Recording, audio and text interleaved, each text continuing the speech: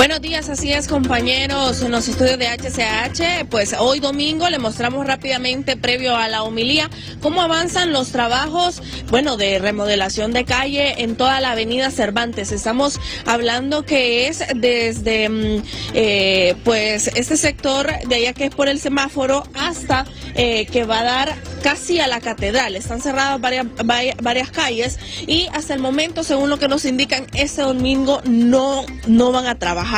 ¿Qué es lo que sucede? No van a trabajar ni hoy domingo ni mañana lunes por el 1 de mayo, que es el Día del Trabajador.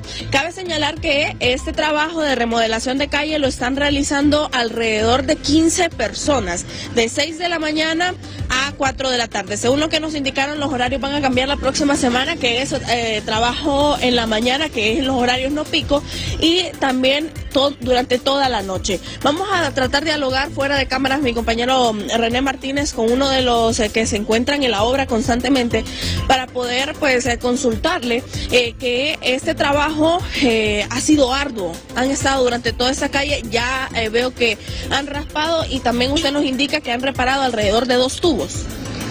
Sí, está bien.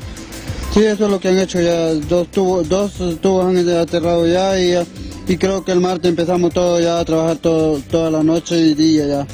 ¿Toda la noche van a estar trabajando? Sí. ¿Y parte del día? Sí.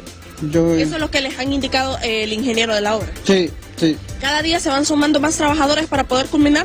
Sí, van ingresando más y más y van ingresando más trabajadores aquí. Ya hay un tramo reparado según lo que nos indica, que es por los semáforos. Sí, por los semáforos.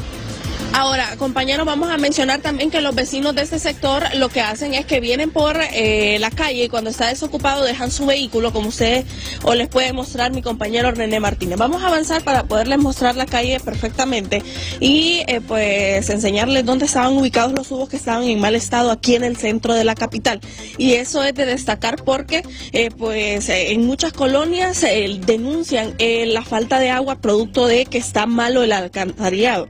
Entonces aquí, eh, pues eh, este es el hoyo que según lo que nos indican es donde estaban en reparación los tubos, ahí está la arenilla, también hay maquinaria.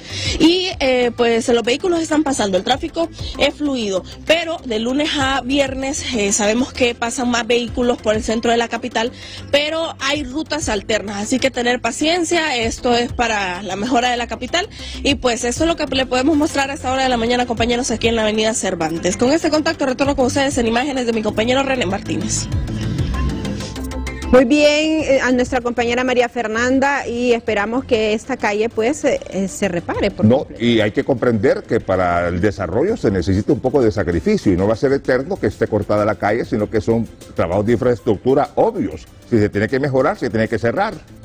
Sí, claro tiene que cerrarse para que se agilice toda la reparación. Así es que muy, bien. por esos trabajos son obras y la acción se demuestra